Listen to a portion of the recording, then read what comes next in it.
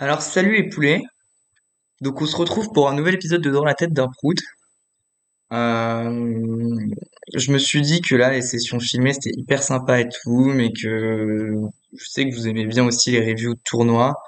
Juste j'ai pas envie de faire une review passive on n'utilise pas le logiciel et et où tout simplement bah je fais passer les mains en disant c'est comme ça qu'il faut jouer. Euh, ici on va vraiment aller un petit peu en profondeur. Du coup j'ai pas fait les premières mains. C'est euh, le KO Battle, c'est un 5 euros. euh, 4 max. Donc euh, moi j'a- j'adore le 4 max vraiment. Que j'ai cheap.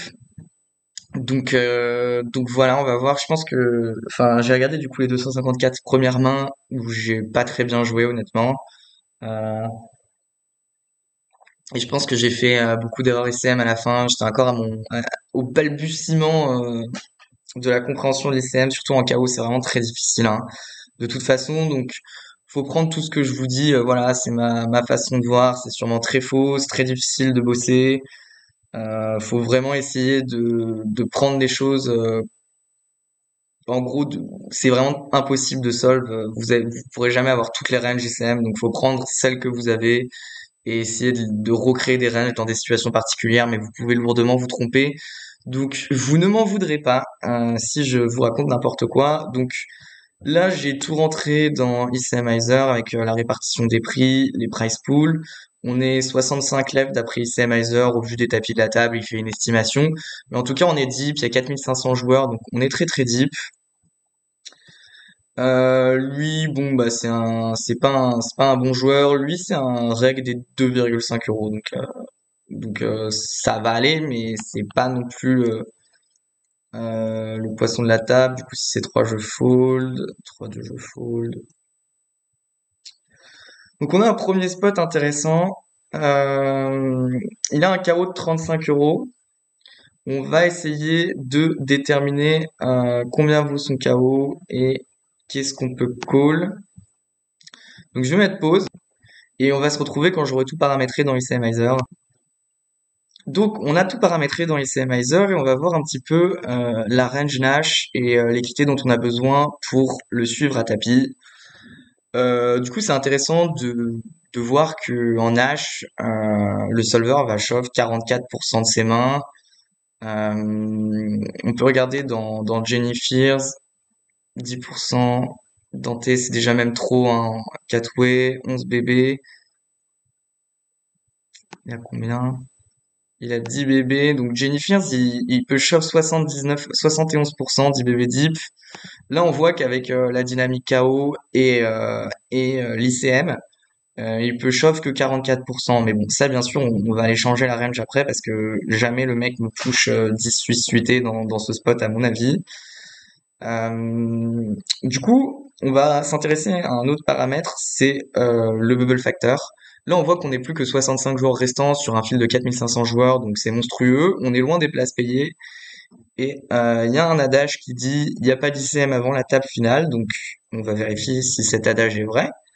Donc on regarde SB vs BB. Donc SB a besoin de 54,7% d'équité pour partir à tapis contre ma range de call. Donc, qu'est-ce qu'on comprend? Normalement, sans ICM, il aurait besoin d'exactement 50% d'équité pour partir à tapis contre ma range de call. Donc là, il a un risque premium, c'est-à-dire une équité nécessaire en plus pour partir à tapis, qui est de 4,7%, ce qui est quand même assez important. Donc c'est juste la preuve que bah il y a de l'ICM avant la table finale. Il n'a pas un risque premium de 60%. Il doit pas euh, jouer que As-Valet, surtout en BVB. On voit qu'il chauffe 44%, mais il a un risque premium qui est assez important. Et moi, pour partir à tapis contre lui, j'ai besoin que de 42,5% d'équité à cause du chaos. Mais on voit que par exemple contre euh, le bifleur qui me couvre euh, au bouton, euh, j'ai besoin de 57% d'équité pour partir à tapis contre lui. Donc ensuite, il y a toujours euh, tout ce qui s'appelle la future game, euh, qui là est simulé, mais euh, je me doute, je doute un peu de la capacité d'Issamizer pour l'instant avec euh, la force des machines à, vraiment simuler le pouvoir d'avoir un gros stack sur ce genre de field. Hmm, Donc je vais pas, je vais pas être aussi tight que me dit la théorie pour partir à tapis contre le bifleur, mais mais je vais faire attention quoi. Je vais pas, je vais pas faire n'importe quoi. Et donc voilà, bon, la preuve qu'il y a de l'ICM avant la table finale, donc faut quand même faire attention à, à pas faire n'importe quoi. Donc maintenant, on va un peu modifier la range de push euh, de SB. Bon, donc voilà, la range, euh, c'est toujours compliqué hein, de savoir, ça dépend vraiment du joueur, faudrait le charscoper, ça dépend de son rate, ça dépend de plein de trucs. Mais euh, je pense que la range de 46%, c'est pas possible. Les mecs sont giga on est 60 lèvres d'un énorme tournoi et même même même quand on joue vraiment bah niveau 2 quoi, les mecs ils me chauffent pas du tout la bonne range c'est toujours des super bons Broadway, un SI, une PP, j'ai l'impression, surtout sur ses limites. Donc je l'ai quand même laissé des, des Broadway un peu moyens. J'ai mis 25% euh, ce genre de jeu parce qu'il y a quand même quelques mecs qui savent ce qu'il faut shove. Mais euh, je préfère rester du côté taille de la force et on va voir ce que nous euh, on peut se permettre de call dans cette situation. Et donc on voit que bon, sans surprise, Dame 6 suité, Dame 6 off contre cette range, bah, c'est un snap fold. maintenant, on peut décider un petit peu comment jouer. Pour le coup, encore une fois, voilà, ces histoires de il n'y a pas d'ICM, euh, ces, ces, histoires de d'ICM euh, vont pas me, je vais prendre des reshuffles très agressifs qui pourraient être considérés par, la machine comme des spew ICM si je sais que le mec open trop, mais au niveau call tapis, je vais être assez respectueux, euh, surtout sur ses limites. En fait, euh, vraiment, à partir du moment où, vous commencez à, à donner de la valeur euh, à votre stack à ces stades-là du tournoi et à juste pas vous dire ok là je double ou je fais 60e bah vous allez aller beaucoup plus loin dans les tournois et c'est pas grave si vous passez beaucoup de temps à 20 blindes euh, c'est pas grave mais donc du coup je vais vraiment prendre 10% le lever des as et du coup ma range de call ça va être NISI parce que en vrai la cote elle est trop bonne faut qu'on mette 9 dans un pot qui fera qui fera 20 à peu près donc, euh, c'est même pas si bon que ça. Ah non, faut non, parce qu'il faut pas mettre 9. J'étais étonné. Faut mettre 8,46. Euh, Donc 8,40 dans 11 dans un pot qui fera 19,40. Donc je pense qu'il nous faut au moins, euh, il nous faut 46% d'équité à peu près. 8,46 divisé par 19,40 égale 43%. Donc ouais, 43,6% d'équité. Euh, et en se mettant un edge de 2%, ce qui est pas déconnant, euh, on atteint 45,6. Euh, et du coup, en collant avec 10% de levée des As, on colle toutes les PP, tous les As-X, Roi 8 shoot, Jack 10 suit. Et voilà. Donc là, bon, bah, on fold. Malgré le chaos. Là, on fold. Euh... Bah, en vrai, je comprends euh, pourquoi j'ai fait 2.6. Mais euh, je trouve pas ça adapté. En fait, je l'ai fait en mode genre pour le dire que je suis commit contre lui et que je vais le raise call avec la suite. Mais je pense que comme le mec il a 10,58, euh, en fait j'ai dû me dire qu'avec le KO j'étais commit, mais on va voir euh, en blinde son KO, il a à peu près 2,25, 15, une quinzaine de KO de départ. On va compter. Donc 15 fois, on va mettre à peu près 8000 jetons à ce stade. Ça fait 120, ça fait deux blindes et demi.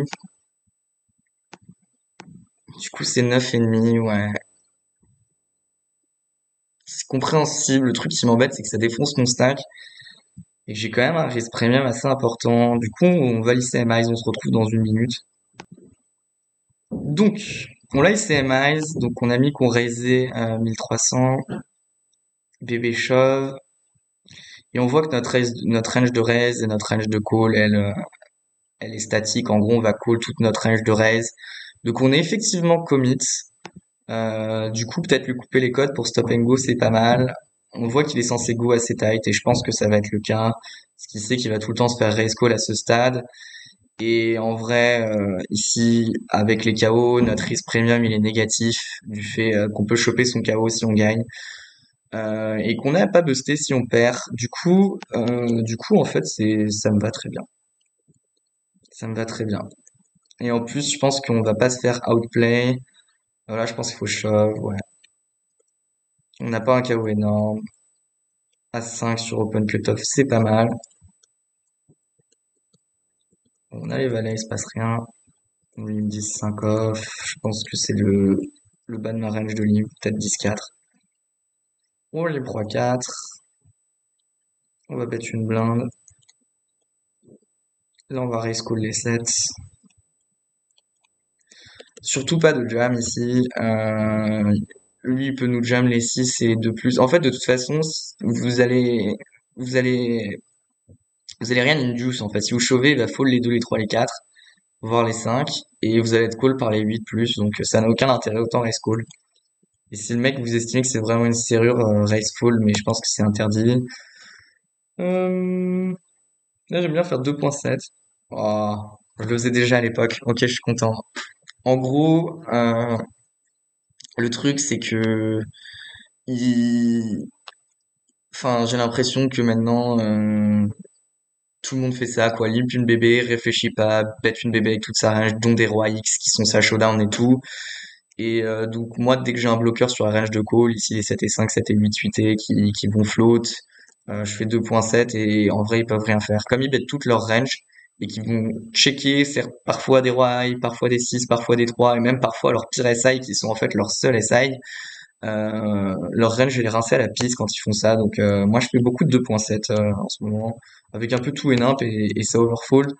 Euh, et ensuite par contre faut vraiment se calmer à la fin. Genre euh, là je vais vraiment vraiment barrel que un 4, un 3, enfin un 4, un, un 4 et un 5 quoi. Mais euh, ça va vraiment vraiment overfold au flop. Donc j'aime vraiment bien. Et en plus, euh, en fait, faut que là, je mets 2.7 pour gagner un pot qui va faire 6,17. Euh, Donc, on va calculer 2.7 divisé par 6,17. Donc ça passe 43% du temps. On voit que que ça passe moins d'une fois sur deux et c'est sûr que ça va le faire. Surtout sur ces barreaux très secs. Et la vitesse de bête aussi, elle nous dit quand le mec il juste il appuie, clique une blinde. Euh, en général, on peut faire ça tranquillement. Bon, Richard, on va. On, va être assez tight hein, dans ce spot, mais euh, c'est trop fort. Surtout qu'encore une fois, notre KO vaut pas grand chose. Bon bah là, le spot en or, hein, mais ça prend pas. Il, devrait être hyper hyper tight. Euh... Je sais pas pourquoi ma calculette elle disparaît à chaque fois. Il a 43,1 divisé par 2,25. Fait chier. Divisé par 2,25. Ça fait presque 20 KO de départ pour ouais 40 stacks de départ. Non, en vrai, c'est pas énorme. En vrai, c'est pas énorme, mais ça doit représenter 3% d'équité environ ou 20 KO de départ fois on va mettre à 10 000. Ouais, en vrai, c'est pas énorme. Ça doit valoir une blinde, son KO, c'est pas non plus... Bon, du coup, on chauffe, ça prend pas. Bon, bah, la 13 deep, euh, en théorie, on est censé induce ce jeu, genre, euh, raise, euh, voilà, on va voir ce que notre ami Razorhead nous dit en fait. Donc j'ai mis pause parce que je peux pas vous montrer euh, les ranges Razorhead, je sais pas ma propriété intellectuelle, mais du coup effectivement il induce, euh, il induce euh, les rois en limpant et les jeux qui va induce en raise c'est plutôt euh, as roi de as roi suité, as dame suité, as valet suité euh, et en bluff des euh, jack 8, 18, des trucs comme ça. Mais contre le fil, faut toujours en fait voilà, sert à rien de regarder des ranges euh, suited ou ces ranges là et dire ah c'est ça qu'il faut faire, je le fais. Faut réfléchir à pourquoi est-ce que le solver fait ça et pourquoi et est-ce que le field répond comme le solver? Et le field en fait iso pas assez en bluff, euh, rejam pas assez et en fait le field overfall surtout sur les open de SB. Parce que vous openez plus cher ils sont en mode, ah, d'habitude c'est open 2x, là c'est open 2.7. Ils comprennent pas très bien euh, que c'est à cause des positions sur les 5 euros. C'est mon impression. Et dans les vidéos de mecs qu'on voit, je vois des mecs euh, fold des dames 8 off là sur open. Donc euh, je pense qu'il faut vraiment pas open euh, pour une. Je pense qu'il faut vraiment limper et juste open en bluff en fait. Mais du coup les rois, ça me ça me fait quand même bien kiffer de les limper parce que par contre ils shovent vraiment beaucoup beaucoup trop. J'ai l'impression. ensuite c'est normal et du coup on l'a coffré. Je pense que c'est un setup, hein, il n'y a, pas trop d'autres façons. De toute façon, ça partait là. Euh... J'aime pas trop. Hmm.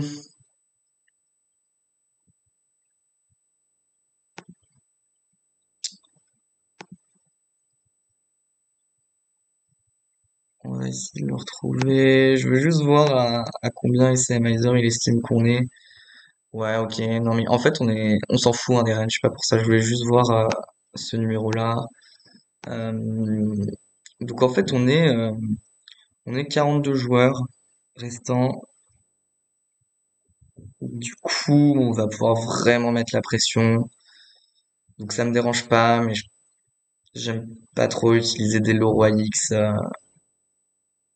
à ces stack size. J'ai l'impression qu'en fait, on, on veut raise euh, beaucoup plus, soit des rois X un petit peu plus haut pour quand même dominer une partie de la range qui nous call, genre roi 6, roi 7, roi 8, euh, mais qui sont pas mécontents de faire fold euh, 9 de suité, quoi.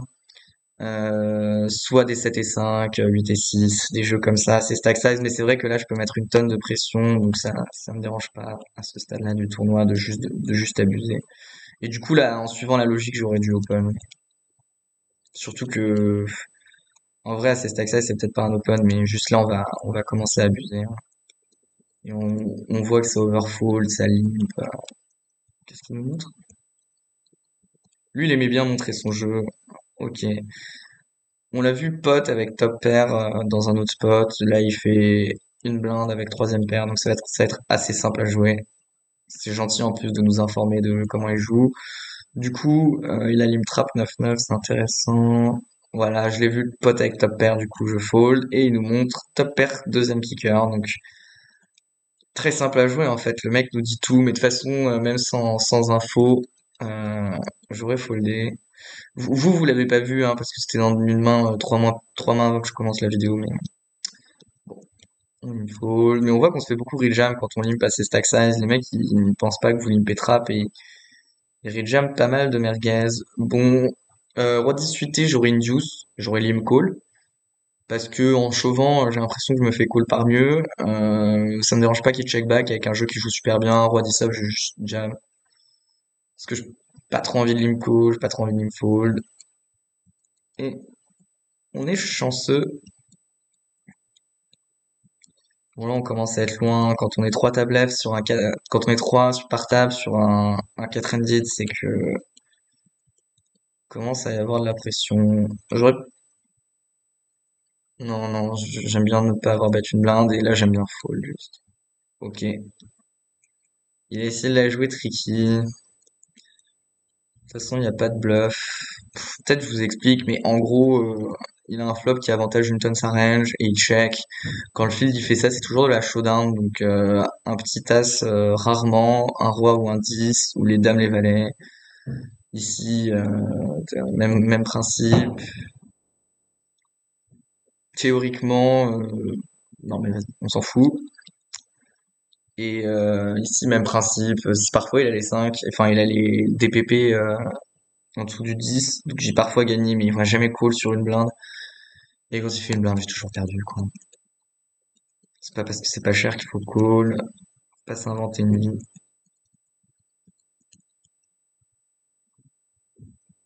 On voit pas toutes les ICMIs, hein. Celles-là, elles sont pas très compliquées. On raise, on raise call, je pense.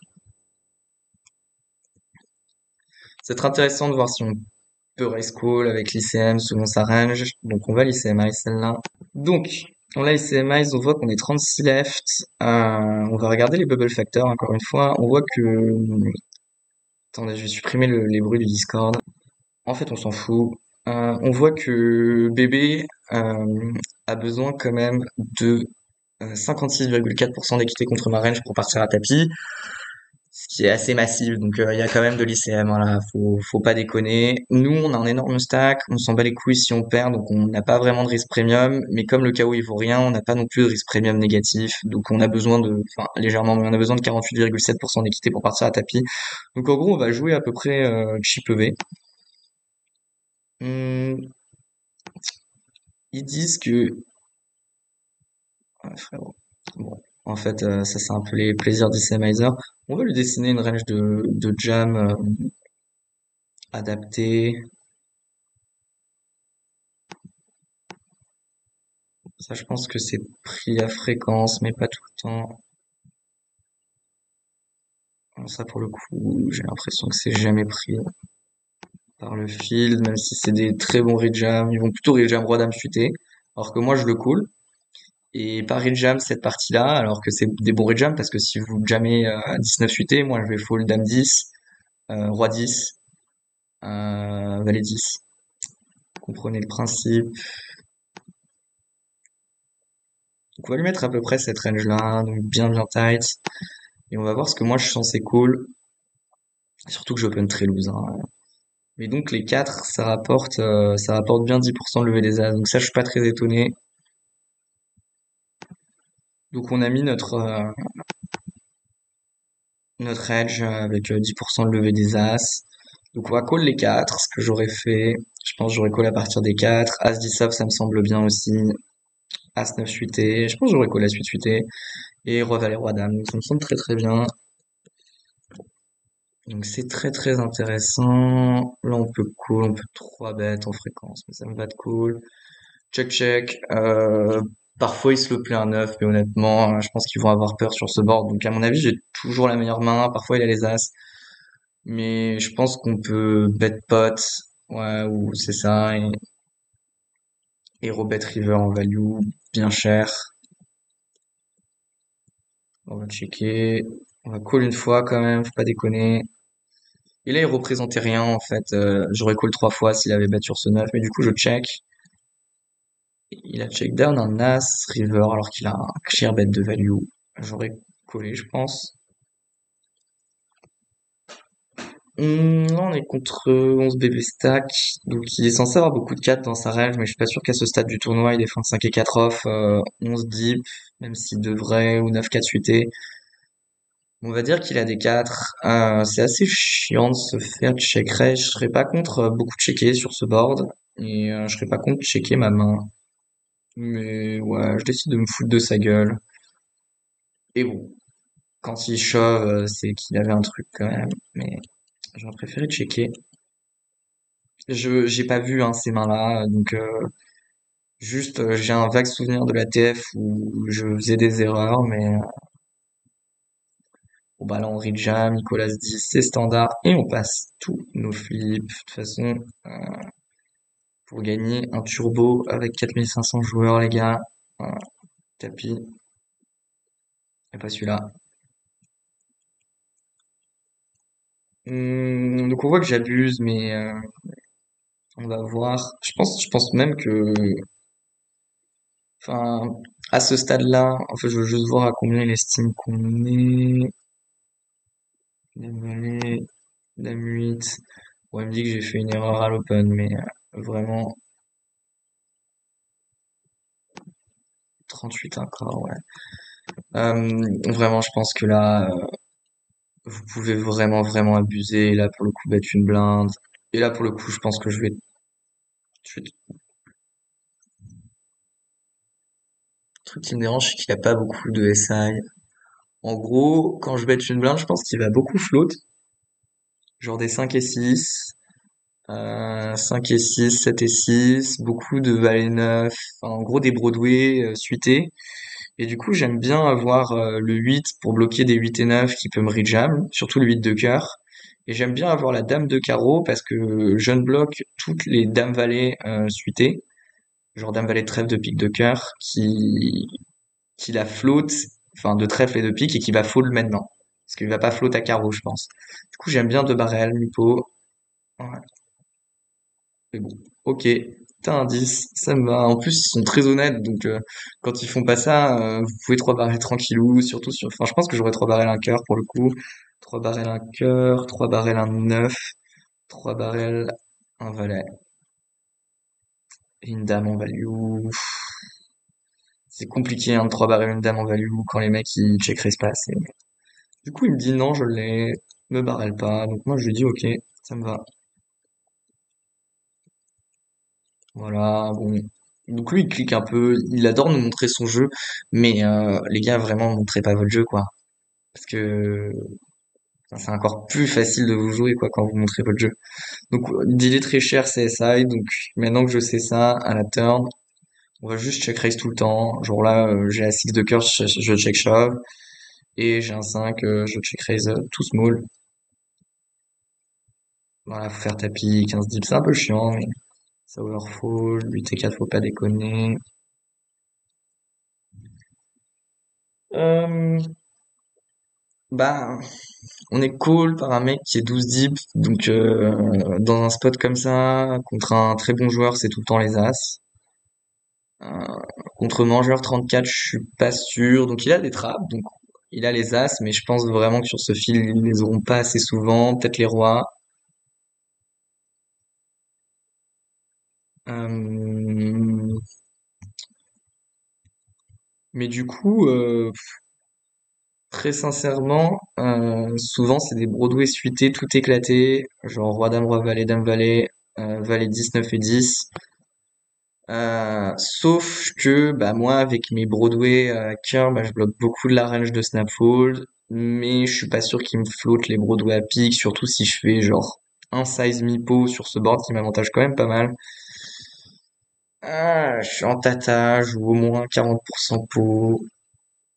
Je pense que ça va overfold. Maintenant, parfois, il flatte des as, il flatte des SA, et je pense que j'ai juste envie de give up, en vrai. Et juste delay small. Lui, il a pas trop de psy, il peut avoir roi dame je pense. Lui, je suis pas sûr qu'il le shove. Roi valet. Peut-être je vais décider de delay river. Bon, bah, sur ce roi. Là, de toute façon, je suis vraiment bottom range. Je pense que lui, du coup, avec le roi de trèfle, il reste plus beaucoup de combos à trèfle. Et lui, bah, il en a. Là, le but, c'est pas de faire fold un trèfle, donc je vais juste faire un tiers, genre, euh, bah, ils vont fold tout ce qui est pas un trèfle, et ça prend. Et tapis. Oh!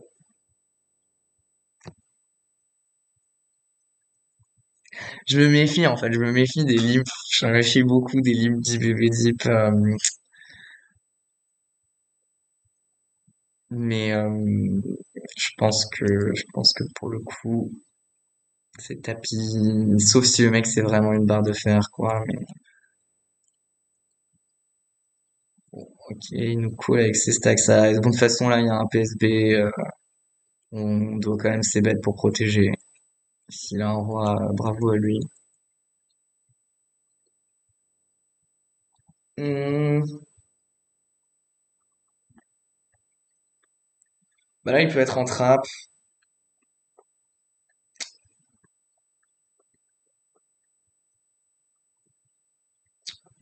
On va regarder. Moi, je- ça me dérange pas de raise call. En fait, si là vous faites 2.3 et qu'il shove, vous avez trop la cote, donc vous devez call de toute façon. Euh, est-ce qu'on check back un jeu aussi fort? Ça me semble quand même euh, compliqué. Donc, euh, ça me dérange pas de raise call. Je vais regarder. Donc sur raise du raise, il y a que les ranges euh, 15-20. Mais là, c'est pas trop pareil, il a 13 blindes. Et donc lui, 15-20, il préfère shove, et là, je suis d'accord, comme tous ses axis off, et plus Inju, c'est Race Call, Roi Valet suité, là où je suis totalement d'accord, mais pff, 13 blindes, ça, ça me paraît un peu, la main est vraiment trop forte, donc je préfère faire 2.7. En plus, je vais vraiment le faire une tonne en bluff, et juste coller, ouais, de shove. Je pense que c'est un peu la simplicité. Bon, pas d'action, pas d'action. On voit que ça fold, euh, ça fold de mutants, quoi, et nous, on a que des jeux, et voilà, Hérolim, non, mais c'est, On fait du foutage de gueule. Bon, maintenant, j'ai la 3 suité. Qu'est-ce qu'on fait? Euh, est-ce qu'on le prend pour un con? Je pense qu'on peut le prendre pour un con, encore une fois. On fait 2.8. De toute façon, maintenant, euh, c'est sûr qu'on lui fait réaliser son équité, mais s'il veut nous call roi 5, euh, des... le truc, c'est qu'il a pas de petits as, en fait. Genre, je préfère faire 2.8 avec roi dame suité, parce qu'il va call beaucoup de dames et droit dominé, mais j'ai l'impression que là, il a pas trop d'as. Donc, peut-être faire tapis, ouais. Parce que de toute façon, une fois qu'on fait 2.8 au flop, on est commit hein, sur vraiment une grosse, grosse majorité de flops, mais La question, c'est est-ce qu'on est call par une range qui est dominée? Donc sa range, c'est sûr qu'elle est dominée, mais je pense avec Dame Valet suité, Roi Dame suité, Roi Valet suité, on domine beaucoup plus de sa range parce qu'il n'y aura pas de d'as. Mais je peux me tromper. Bon là, tapis, hein. Je là par contre c'est c'est n'importe quoi de fold ça. Oui aussi le truc où vous êtes euh, voilà c'est le stress logo quoi. Vous le vous enfin moi j'en avais jamais eu, je le voulais, j'avais pas envie de de spew, mais là c'est c'est tapis. C'est tapis tous les jours. Bon, bah, on l'a bien senti, mais ça, je suis pas très fan. Bon, là, par contre, ça, c'est un, un grand limp contre le bifleur. Euh, On a envie, on a envie de le, on a envie de le, de le coffrer. On check. On fait top brelan, on bloque vraiment notre range de call sur trois barrels. On va le laisser faire n'importe quoi. Ouais, j'ai vraiment, vraiment hésité parce que on, l'a vu, euh, on l'a vu pot, euh, on l'a vu pot en value, pot en value plein de fois. Donc j'ai hésité à jam direct en mode bah c'est frérot je sais pas ce que t'as mais t'as sûrement soit la dernière dame soit un 6 qui estime qu'il est prêt à tout mettre mais je me suis dit il reste vraiment qu'une dame Euh, quand je vais call il y a 7 euh, dans le pot. Donc même un 6 il va avoir du mal à le call. Et si le mec est un peu malin il commence à faire ça en bluff comme il nous a montré. Enfin le but en tout cas de nous montrer autant de fois le faire en value c'est pour le faire en bluff. Du coup je décide de juste coller. Il check check. Bon là on fait carré donc il reste pas de dame.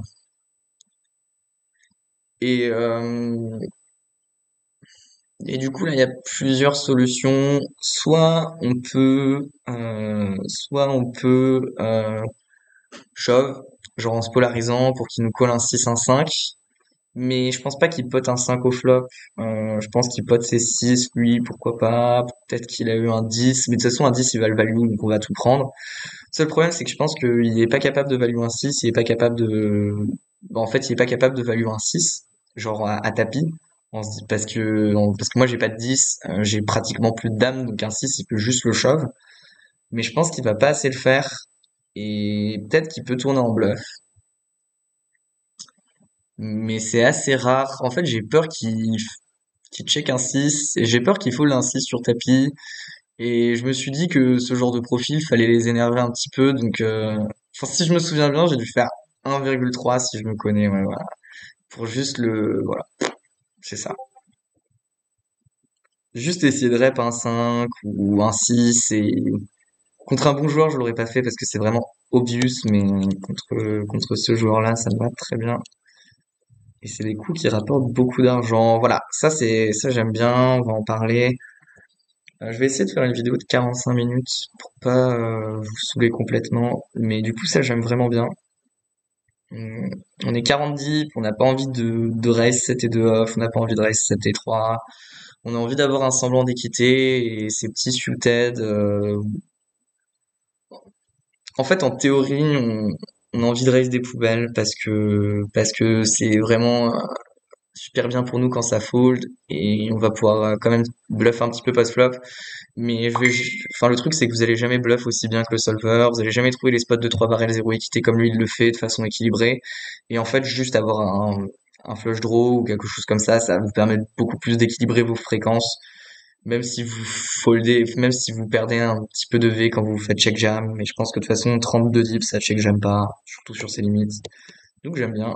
En plus, c'est bien de se montrer agressif à ce stade-là du tournoi.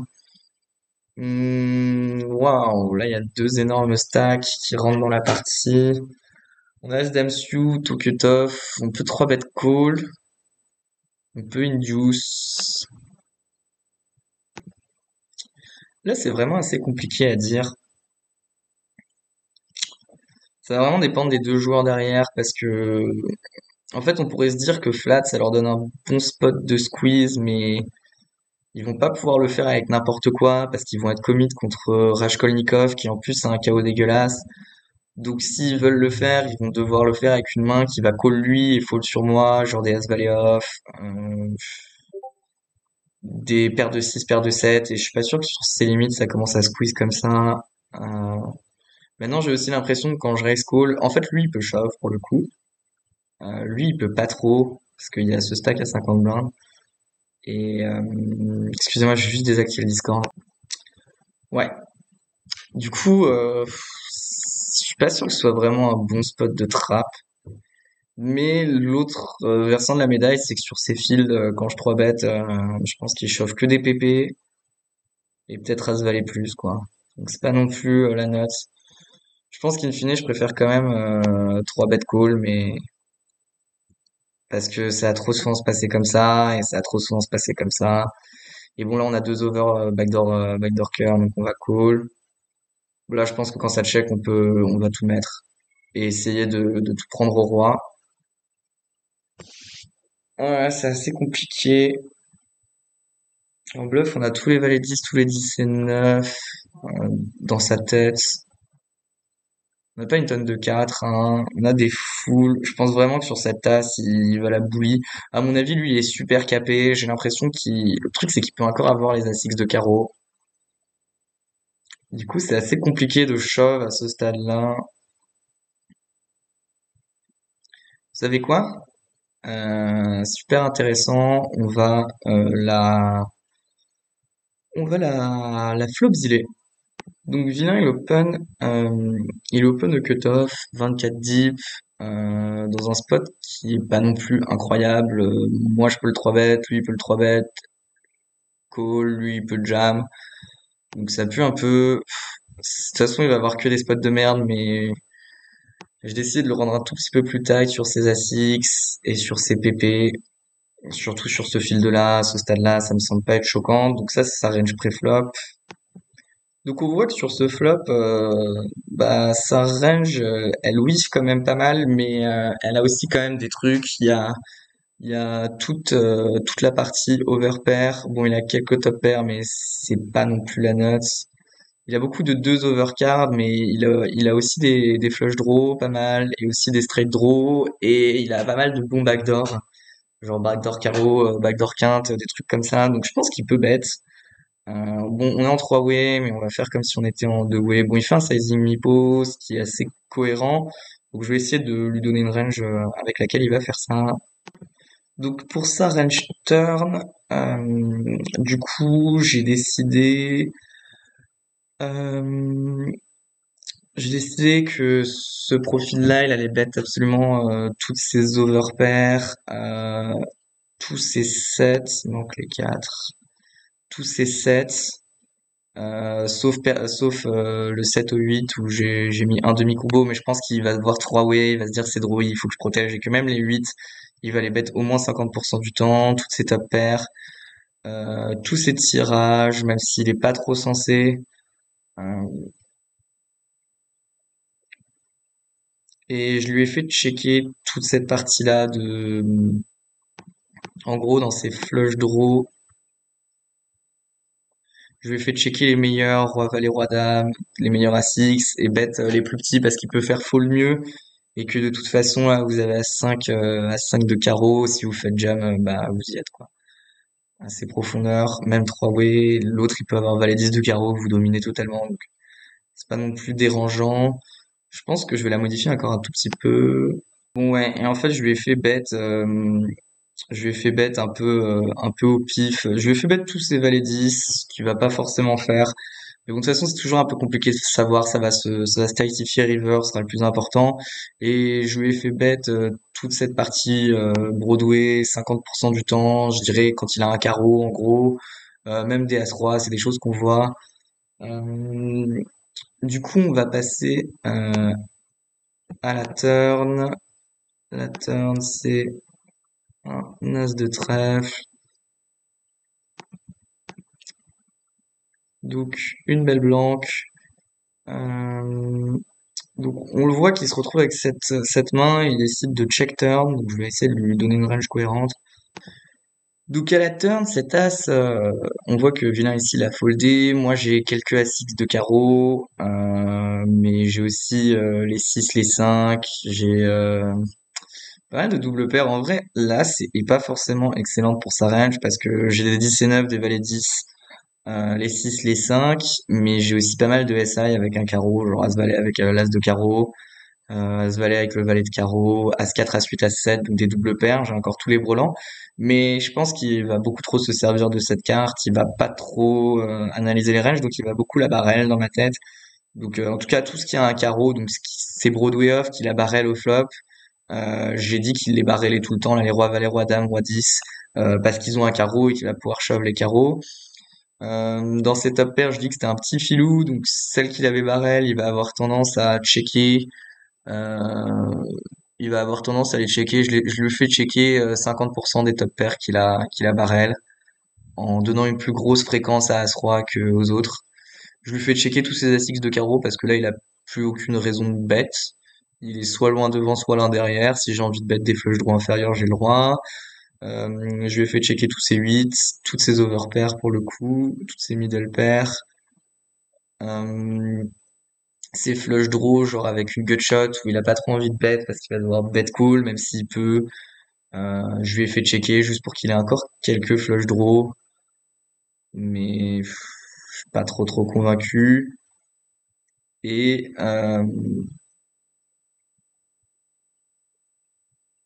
et voilà, c'est à peu près tout. Et je lui ai fait checker ouais toutes ses overpairs.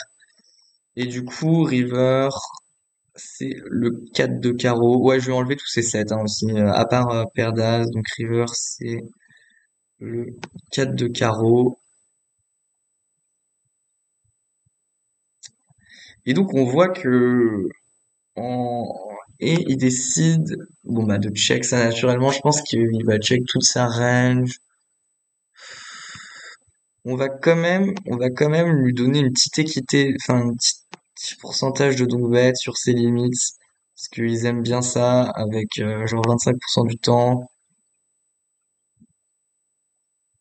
Non non, enfin du coup il les a que 75% du temps avec ça. Juste diminuer un tout petit pourcentage du temps ces flushs là. Euh, et donc voilà, il se retrouve river avec ça. Et la question c'est euh, est-ce qu'on a un value bet? Parce que là on voit notre équité contre sa range, donc on est vraiment bien. De toute façon on s'attend à avoir souvent la meilleure main. Euh, 8 et 7 à mon avis, il a bet turn. Mais euh, du coup, euh, qu'est-ce qu'on value quoi? Je pense euh, c'est assez chiant là. Bah du coup les flush il va nous call.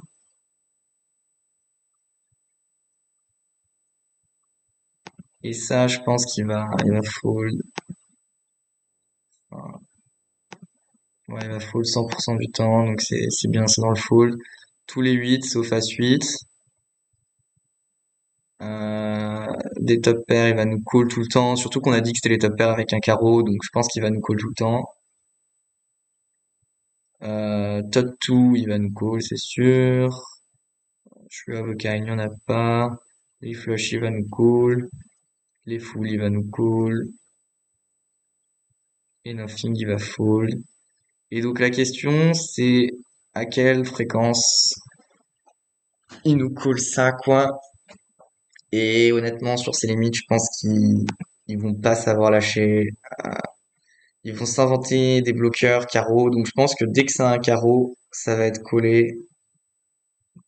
Euh, les 10, peut-être pas les 10, les valets, les 9, parce que ça bloque vraiment, vraiment trop euh, ma range de bluff. Mais euh,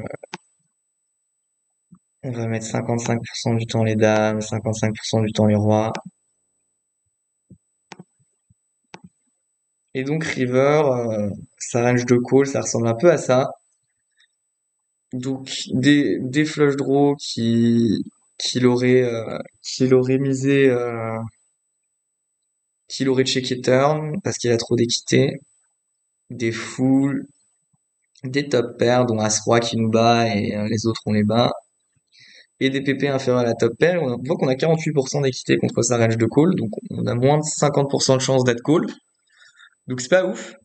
Surtout que je pense qu'on a besoin de plus que 50%. Là, on a vu qu'il y avait de l'ICM pré-flop, donc c'est sûr qu'il y en a post-flop. On joue pour notre tapis, même donc on, je pense qu'il nous faut au moins 55, entre 55 et 57. Là, je peux dire des bêtises, mais en tout cas, moi, c'est comme ça que je vais le prendre. C'est pour prendre un, un team value, il me faut au moins 55% d'équité. S'il m'en, faut 50 normalement en ICM, euh, quand je mets tout mon tapis à 30 left, il m'en faut 55. Si on est 7 left, il m'en faudra plus 60, même 65. Euh, mais du coup là, euh, bah, c'est pas un value bet. À mon avis, c'est pas un value bet. maintenant, on va changer, on va voir si on a l'as de carreau. Et on voit qu'avec l'as de carreau, on a 57% d'équité parce qu'on lui, on lui discount pas mal de flush draw.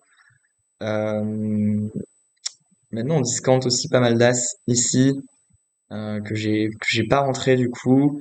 Mais je pense qu'avec l'as de carreau, j'aurais value bet parce qu'on bloque vraiment tous ces as X de carreau qui sont les principaux jeux qui nous crushent. Et euh, avec surtout que je pense qu'ils vont ils vont vraiment donc les valets 10 de carreau, les trucs comme ça mais sans l'as de carreau, on va juste checker. Donc voilà, si vous vous demandiez un petit peu comment savoir si on doit value bet river ou pas, euh, bah faut faire ça en fait. Faut vraiment faire ça parce que aller sur Pio ou sur Passflop Plus et dire oh euh, solver il, value bet donc euh, je fais une erreur, bah c'est des conneries déjà, ça prend pas en compte le stade du tournoi et en fait les gens ils jouent pas comme euh, comme un solver donc votre résultat river il sera totalement erroné et donc, euh, avant de vous acheter PioSolver ou de payer des abonnements sur des solvers, juste achetez-vous Flopzilla. Ça coûte 30 euros une fois dans la vie et ça marche super bien. Euh, 45 minutes de vidéo, ça me semble pas mal. Ouais, là, ça me semble pas mal. Je pense qu'on on va s'arrêter sur ce petit check qui était pas si. Et euh, la question c'est est-ce qu'il call ça quoi? Parce que bon maintenant j'ai enlevé le Flopzilla, mais c'est vrai que sûr que s'il s'est pas lâché les rois, euh, je pense qu'on peut go. Mais je pense qu'il va forcément attendre d'avoir un carreau.